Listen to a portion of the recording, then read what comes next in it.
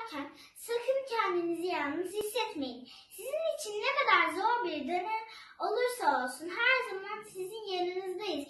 Dualarımız sizinle. Çok geçmiş olsun. Merhaba kaymakam amca. Ben Ece Tarhan. Geçen yıl avukat Nail Büyükermen İlkokulu'nda bir A sınıfındayken sizinle tanışmıştık. Hasta olduğunuzu öğrendim. Geçmiş olsun. Sizi çok seviyorum. Sayın Kaymakamımız, çok geçmiş olsun. İnşallah en kısa zamanda iyi olursunuz.